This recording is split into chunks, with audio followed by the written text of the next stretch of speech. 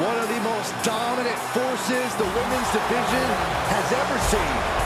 Rhea Ripley, the Eradicator, is here.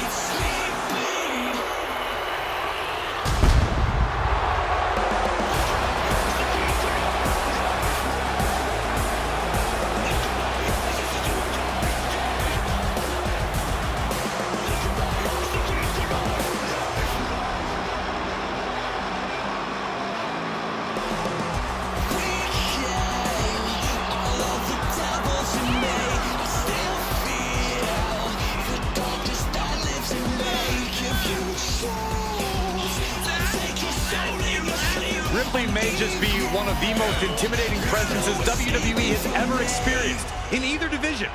She strikes pure, unbridled fear straight into the hearts of her opposition.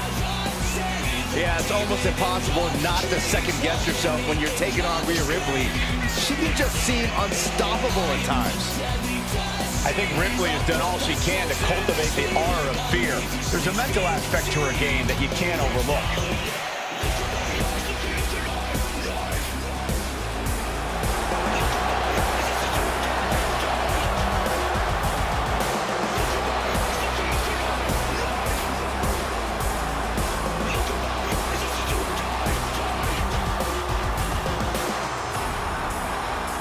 She cannot afford to let Bianca Belair purchase real estate in her mind.